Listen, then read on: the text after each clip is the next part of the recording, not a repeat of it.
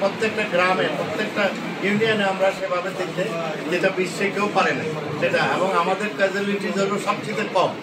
এবং এশিয়ার মধ্যে আমরা সবচেয়ে বেস্ট আমরা পঞ্চম। পৃথিবীতে আমরা পঞ্চম হয়েছি। এটার জন্য আমাদের অত্যন্ত সুন্দর এই সিস্টেম আমরা প্রত্যেকটা উপজেলায় আমরা আজকে আমাদের যে শয্যা সংখ্যা আমরা বাড়াচ্ছি, আমাদের অক্সিজেন প্রাণ থেকে শুরু করে আমাদের আজকে যেগুলি নতুন আসবাবপত্র সহ নতুন যন্ত্রপাতি, প্রত্যেকটাই কিন্তু আমরা ইকুইপ করেছি উপজেলা আমরা বিশ্বাস করি আমাদের জনগণের জন্য যেটা মূল দাবি সবচেয়ে বেশি থাকে